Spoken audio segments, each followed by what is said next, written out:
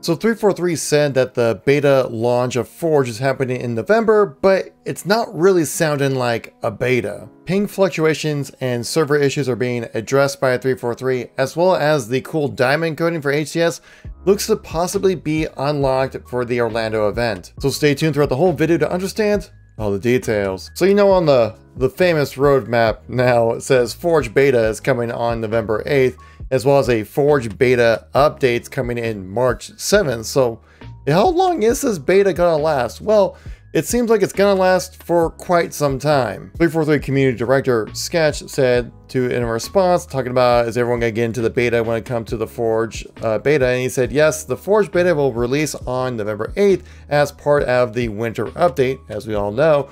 Once launched, it will stay alive forever evolving over time, this is not a limited time beta or insider flight, it's Forge for all. So when I read that, I'm like, this isn't a beta, this is like the actual launch of Forge. Just like how the multiplayer launched in a beta state back on November 15th and then it went full release, but then nothing really changed for the game and still nine months into it, nothing has really changed much when it comes to the gameplay of Halo Infinite. Some minor changes here and there, obviously, but for the most part, it's played pretty much the same since release, and apparently that early month release, that's the beta. Now we're in the full game. I'm, so now I'm thinking like, no, this why are you even bother call this a beta? This is just the release of Forge. Especially since they're still gonna be calling it a beta up until June? I feel like they're just calling it a beta so then they can kind of get away with most of the community kind of going like, well, yeah, but it's a beta, so yeah, it's early access or something like that. There's there's a there's a reason why this feature's not in the game right now, kind of stuff, or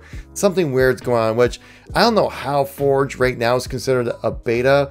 We've seen what they can create with Forge with all the leaks. I've covered it on the channel, and yeah, it's pretty incredible, light years ahead of Halo 5's Forge. And funny thing here, the Forge map that we saw within the recent reveal is actually just a recreation, retexturing of an old ODST Slayer map that was created back in Halo 5.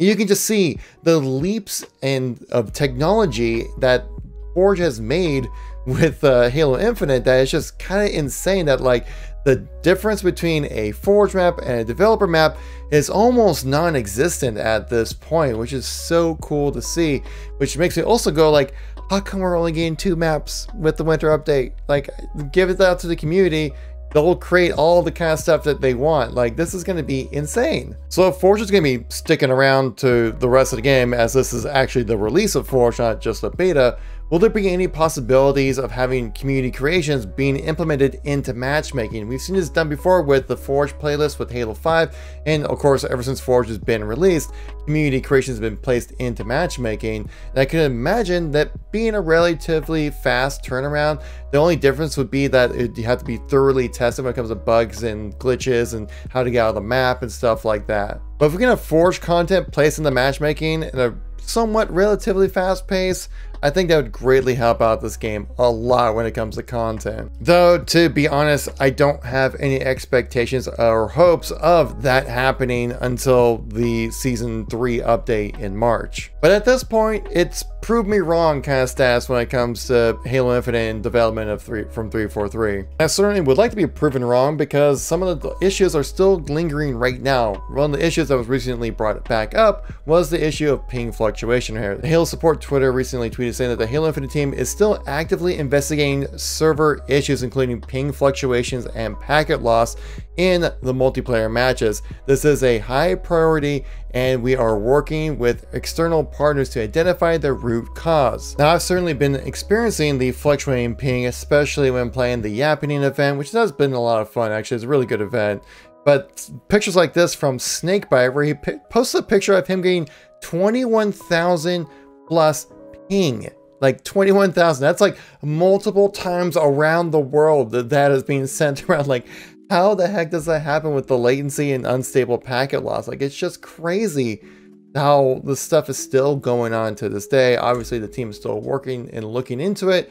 Well, as soon as we get that fix coming, guys, you know I'll let you guys know here on the channel, because that's kind of what we do here. Now, do you want those awesome diamond encoded coatings that are coming for Halo Infinite, guys? Because we do know those are confirmed to be coming in. Well, it seems like they will be coming in probably with the Orlando event at the end of this month, if not guaranteed for the Seattle event happening at the end of October, because this was recently posted saying that Optic Lucid has the Gladiator's Edge diamond coating and it will be a Twitch drop soon, which Tashi did confirm it will be a Twitch drop. Lucid on his Nightbot post on his chat here saying he does have the Gladiator's Edge skin for participating in the HCS Kansas City All-Star match. It's exclusive for now, but will be available in a drop for later, which there's really only two more events coming out, guys. So if you guys want to grab these amazing coatings right here, I mean, I'm sure we all want to jump in and get some of this this beautiful diamond awesomeness right here, all right? Well, it's most likely happening at the end of this month for the Orlando event or happening for the Seattle event. Again, once that is confirmed, I'll let you guys know here on the channel. We do know that they will be coming in as drops as Tashi, the head of HCS, did confirm this previously in a tweet as well. Now, this part of the video, I want to give a little bit of a channel update because we got the news and all that kind of stuff out of the way. So if you're still watching this video, you're one of the real ones. And with Halo Infinite being pretty slow when it comes to content and things to talk about and do in the game and stuff like that, I'm going to just test out a few things on the channel. We're going to test out some different games, different formats and stuff like that. Just kind of experiment with the channel a little bit. Don't worry, the Halo news and information is still going to be here. Like, I love Halo. I'm going to keep talking about it no matter what. I've loved this franchise through thick and thin since 2001. It's not going away anytime soon. I do have this video going live on Monday morning. This is a it's discussion essay type of video I'm doing with Modern Warfare 2. I wanted to kind of get more into like discussion type videos, and this is going to be talking about Modern Warfare 2 and how things have been pretty quiet when it comes to news and information and how I'm kind of concerned about how this game will actually play out. I'm very excited about Modern Warfare 2, but I'm also very cautiously optimistic about this game because Infinity Ward has such a bad track record when it comes to delivering a product that the community actually wants, and I talk about that in the video. I will be premiering that Call of Duty video Monday morning. I'll be live in chat, hanging out with you guys, discussing with Halo, Call of Duty, gaming in general. I'll be there for you. I also want to do some more deep dives when it comes to Halo content. Like I really want to talk about like Long Night of Solace and like Delta Halo or some of my favorite campaign missions that I really want to dive deep and talk about that with you guys. Essentially, I just want to try to make more what they call evergreen content where the content I make on the channel, yeah, I do like how you guys come by and check out the videos and stuff like that. I do get a lot of enjoyment out of making this stuff for you all. Uh, but I want to be able to make something that's gonna last more than just like a single day. I feel like all, all the videos I've made, almost all the videos I made on this channel for the past like four years have just been kind of just relevant for like a day, maybe a week, and then like no one ever needs to watch them ever again. So I want to be able to create something that could be watched six months from now and still be relevant. Watch it a year from now and still be relevant. So what does that mean? Well, I need to make bigger and better videos for you guys to watch. So I hope you guys will enjoy them. I also have a big project in the works for Modern Warfare 2019's campaign that I really want to make and go into with you guys. So keep an eye out for that video as well. Again, thank you so much for watching the channel, guys. If you want to know my full thoughts on the recent update when it comes to Halo Infinite, spoiler alert, not that great. But if you want to know the details, check out this video right here. Thank you much for watching. Greatly appreciate it. Catch you on the next one. Peace out.